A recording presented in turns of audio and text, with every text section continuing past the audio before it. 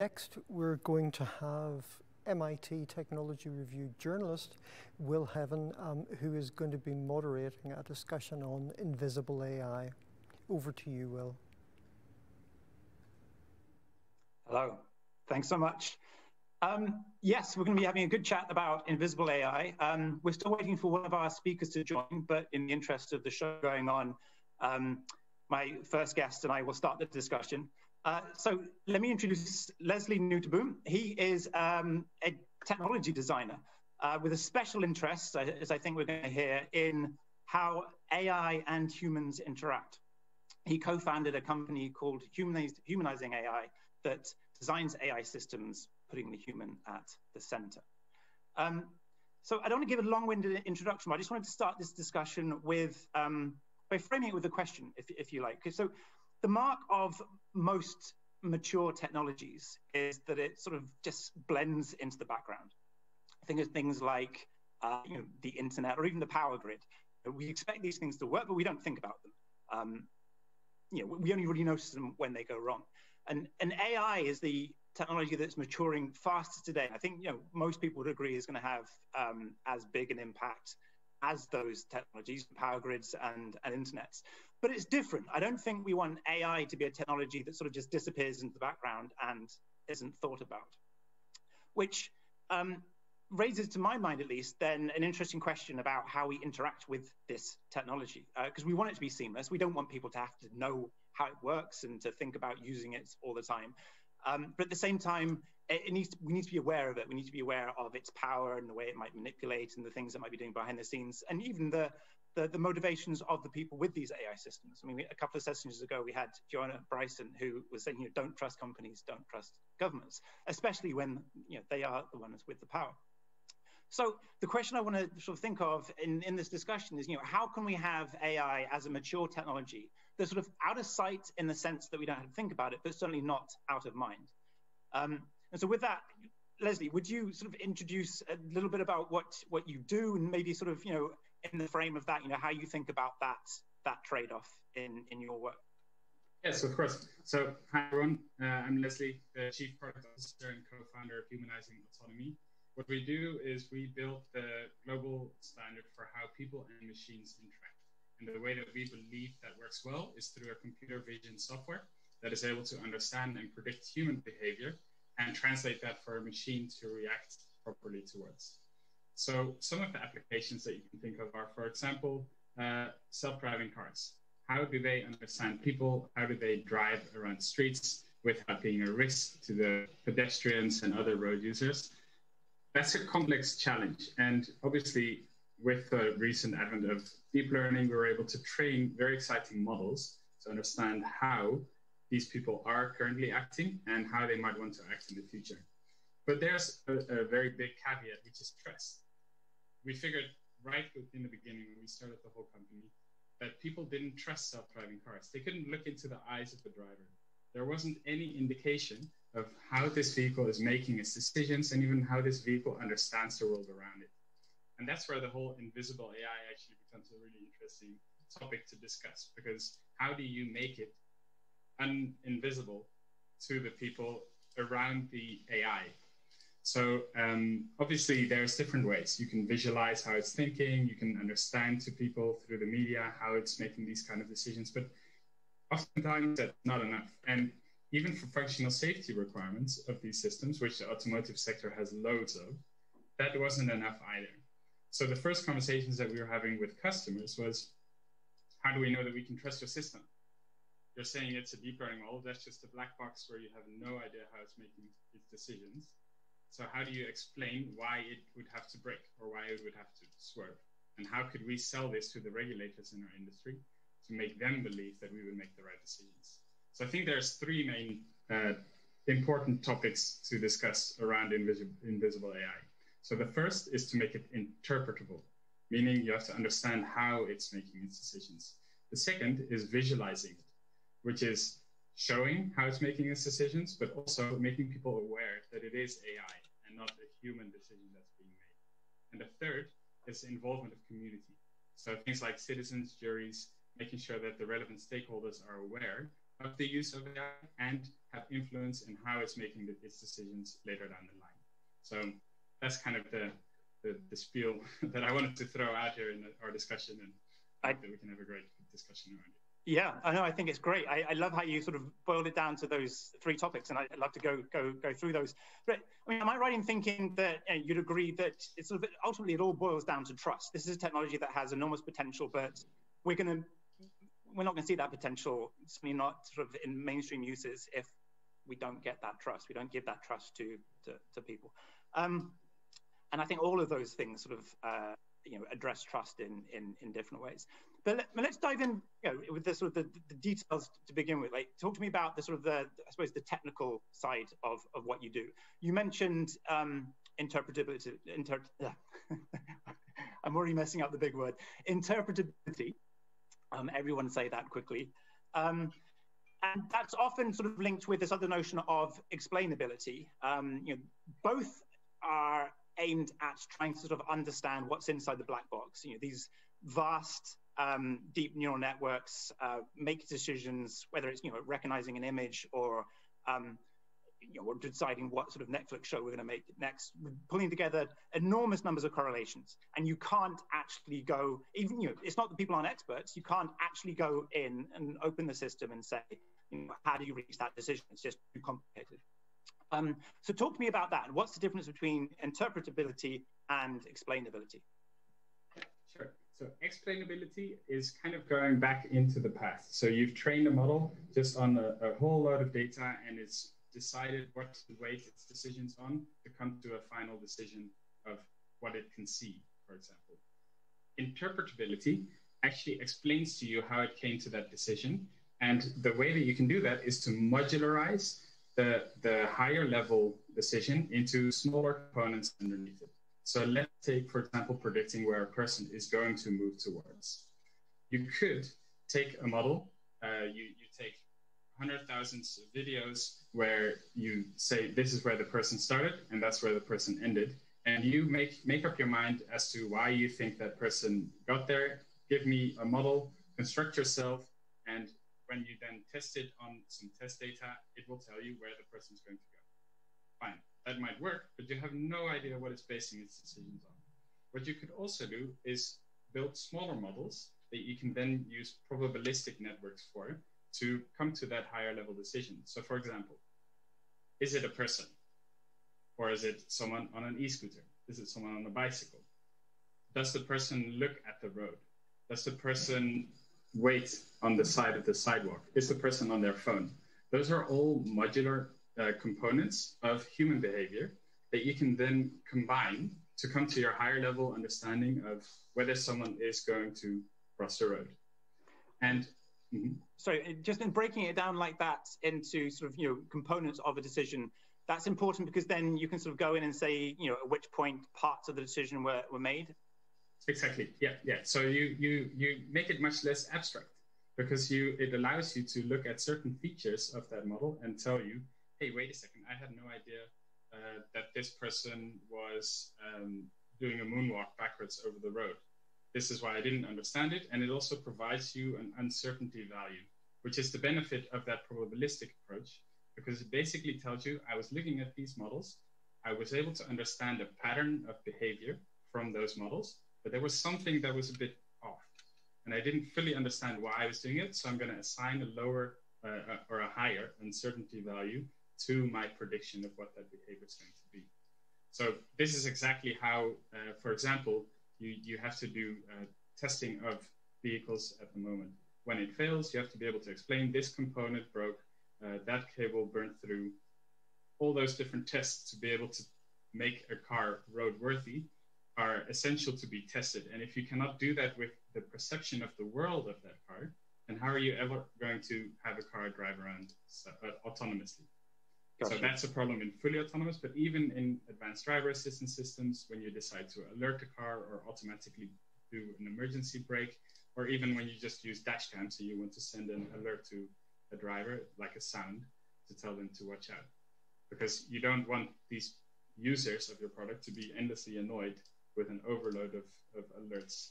Uh, and you have to be able to explain why is it alerting, so you can then prevent it So you find edge cases that you can then retrain models on, maybe add a new module that is for a different use that you hadn't expected your product to be used for, so that you can then prevent that in the future. Okay, Let, us let's come back to that in a minute because I think that's um, uh, you know you're touching there on sort of visibility, how you sort of you know, make the the working the AI system you know visible to the person using it, you know the, the passenger in the car or, or what have you. But before we move on to that, um, I'm interested when you talk about this sort of making um, you know, deep learning systems more modular. Does that fundamentally change the the technology? I mean, uh, we're seeing now some of the biggest, most successful AI models. I mean, thinking of like large language models like GPT-3, their power comes from their size, being you know one vast network that pulls in loads of data and and you know does weird and wonderful things with it. Um, are you suggesting that sort of we need to move away from that paradigm and, and make AI more understandable by changing how the sort of neural networks are composed? They're great benchmarks to see where you can arrive with that approach. And one of the risks that you have with interpretable AI is that you need expert knowledge. So basically, you need expert knowledge to understand how language is being formed, for example, in, in, in, uh, in, uh, in, natural language uh, models, um, which, which can be challenging, right? And sometimes we have the wrong assumptions which is why these models can outperform expert knowledge uh, based models. Mm-hmm. So I think it is it is kind of a game where you've got the expert knowledge trying to compete with the, the computer generated understanding of a certain problem. Um, but I believe that if you want to fully trust a technology like one of those, you need to understand what it's bas- basing its decisions on. Now, there is a there is a bit of a caveat with interpretability. So uh, when you look at those layers that I explained, where you've got higher level behavior of humans, for example, one underneath there is the, the smaller behaviors or the, the simpler um, movements that people are making. And then one underneath that is a more foundational layer, which is, is this a person or not? Mm-hmm. That lower foundational model, whether someone is a person or not, that's much more difficult to make interpretable. So usually what you can only do is to make those explainable. So you can look at the layers within the neural network, why those layers are determining whether someone is a person in the end by visualizing what pixels it's looking at or what, what colors it's looking at. And that's a way in which you kind of go back into your model and try to understand how it decided that this was a person. And hopefully, through generative adversarial networks, also create edge cases. Mm-hmm. So that's kind of like you take the model and you let the model show you what it would generate if it would be allowed to create an image that itself would think is a perfect example of what you're asking it to do for you. And if you then see in, for example, um, I'm trying to come up with an example for natural language processing, but it's just, it's really slipping my mind. But if you look at it for, from, a, from a human behavior perspective, which I have to deal with every day, so it's a little bit easier to come up with an example. If it shows you that it's, it, the general adversarial networks always make people with red coats, then you know that probably your data set is over-representative of people with red coats. And it won't perform as well with people who are wearing yellow coats. So that gives you kind of a, a hint towards how you could improve your model even before it's out into the wild. Okay, thank you. Uh, I like the example. Um, you know, thinking, you know, as a as a product designer, um, this these things you're talking about, are they things that you uh, you care about at the design stage, at the test stage, or are you saying these are things that should be designed into the system and are there just to help a human interact with it, you know, through the lifetime of that product, whether it's a driverless car or or what have you? Yeah, I think maybe I, sh- I should add a fourth one uh, to the, to the three points that I had in the beginning, which is that you need to learn continuously. The world is an ever changing environment, right? People change their behavior, people look differently. There's maybe a new fashion style in the next year that makes people wear reflective coats. Your model will not have any idea how to deal with those new behaviors or those new looks of people. So, what you cannot do is you cannot design a, a, a model, ship it, and forget it, which is basically how we used to describe the automotive industry in the past ship and forget. You sold a car, and that was it. You made your money, that's the end of it. But if you create a, a model that has to respond to people's behavior and is very risky to deploy in real world environments, you cannot just leave it there and believe that it's going to do its thing for the next 50 years.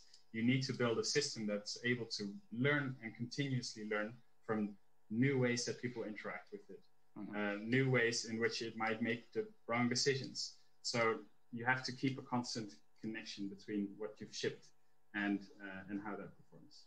Okay, so I understand um, how you know an engineer designing these things might you know, interact with with a, a, system while it's learning sort of to understand how it works.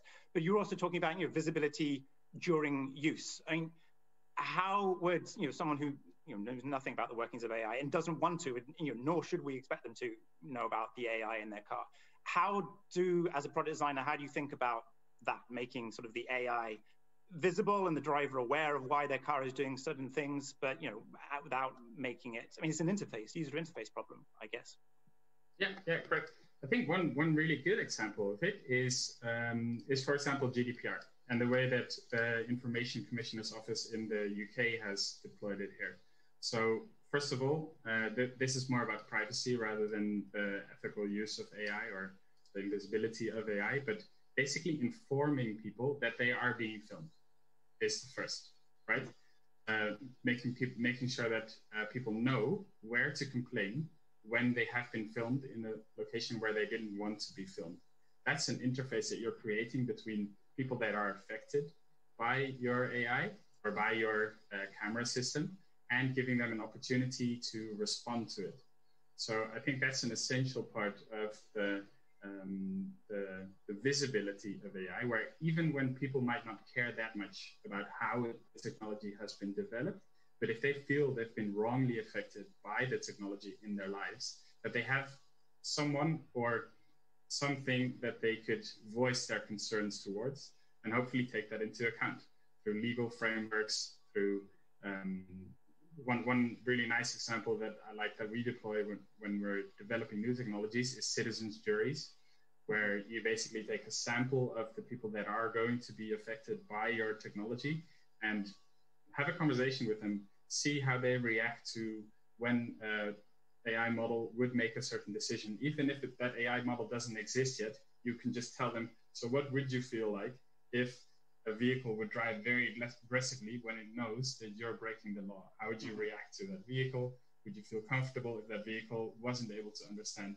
that you're in a wheelchair rather than on a bicycle? So I think there's a whole load of social challenges with developing a technology like ours, like any AI model, really that's that's being used.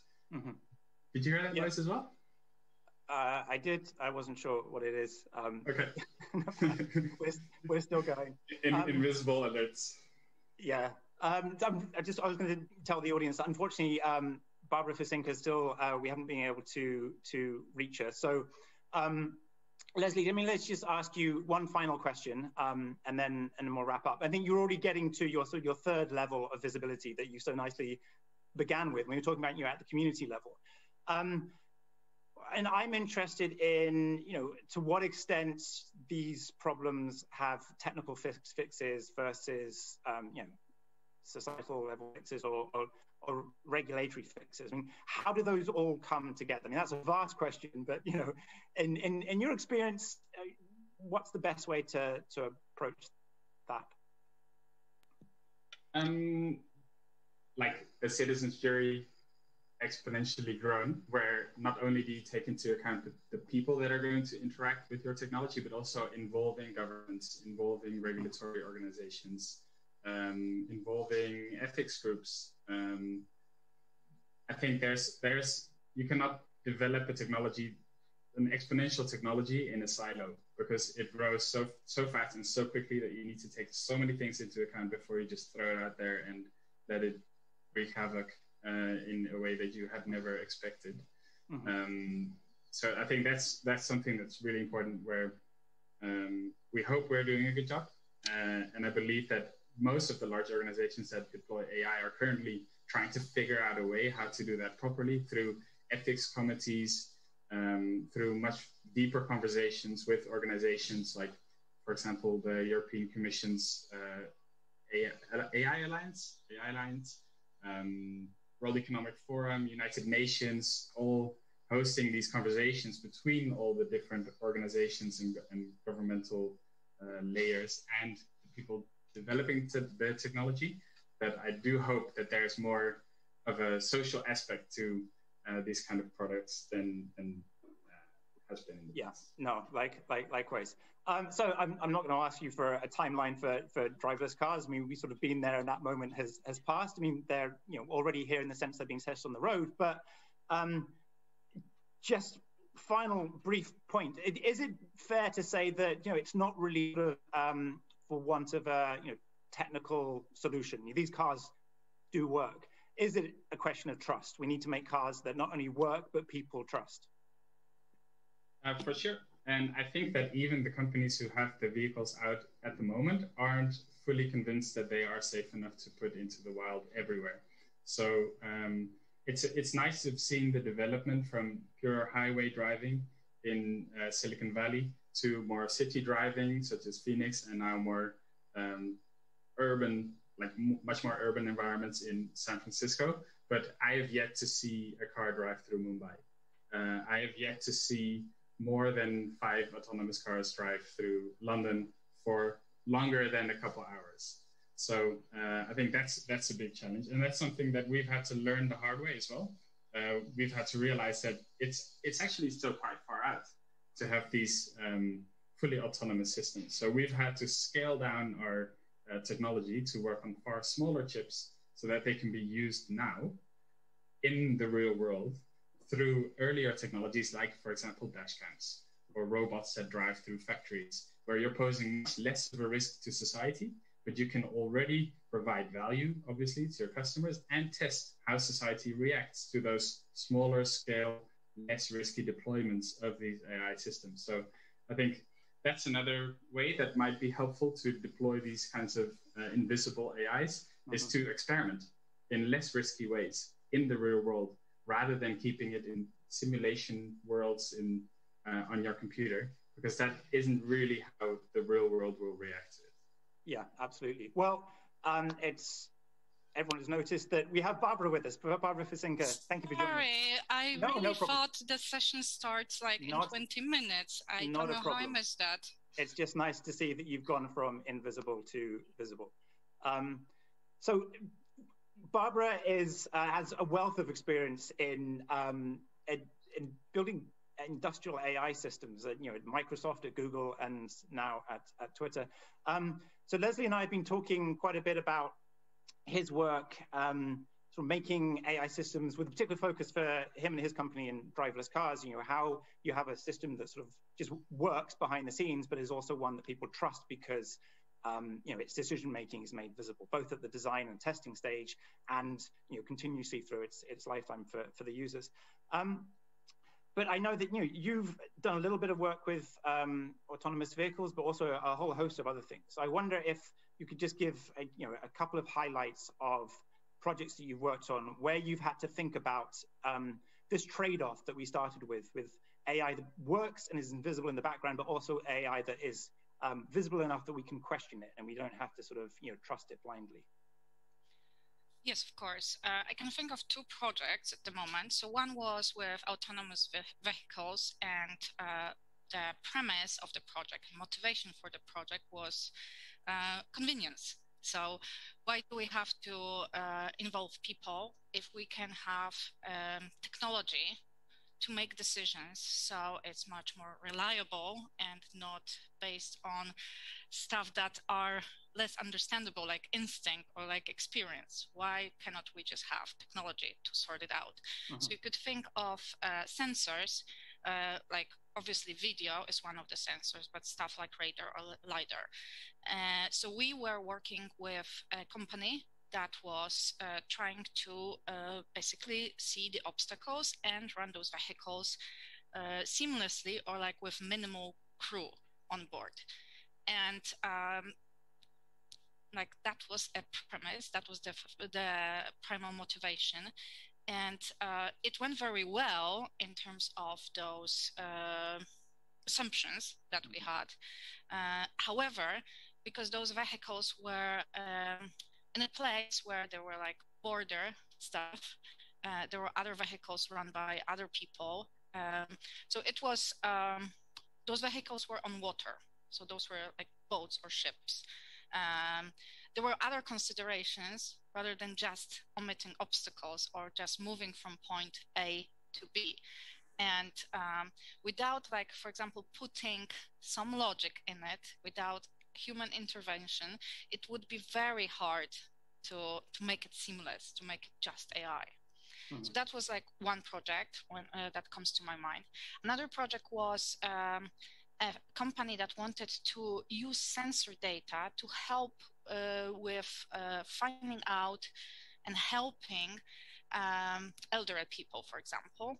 So basically recognizing if the person needs help, if the person collapsed, do they need help, and they're uh, maybe would not replace a caretaker, but um, in in the moments when uh, when a person that might might need help, they are alone, it could support the other people that could take care of them. Mm-hmm. And you could very clearly see in both those cases that there are some like ethics stuff coming into place. For example, with vehicles, not just the boat ones, but any vehicles, um, whenever there is an accident, and there was a situation like this, like who takes the blame? Who can we sue? Who can we say, actually, some someone or something screwed up and who takes responsibility and it's not about just legal stuff it's more about thinking about the future yeah. uh, with sensor data um, like we had this concern when i was working on this project uh, what if somebody wants to weaponize it what if somebody wants to use those sensors to use it in a battlefield and see if enemy is down so like straight away from great motivation.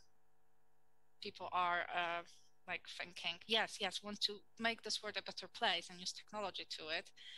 Uh, you can you can straight away think of some scenarios that are not necessarily taken from the movies. Uh, yeah. That those those things can be weaponized. Yeah, I mean, it's not new that you know technology has you know, what's often called dual use. You can have a good use and a, and, and a bad use, but I think that's particularly the case with, with AI, where I think there's a general perception that, um, I mean, not that AI itself works mysteriously, but there's some mystery around, you know, who's doing what with AI. Um, I mean, because its potential for, for misuse is, is large. Um, and so I just want to end the session with um, just a general question about, you know, the future of, of, of AI as you say.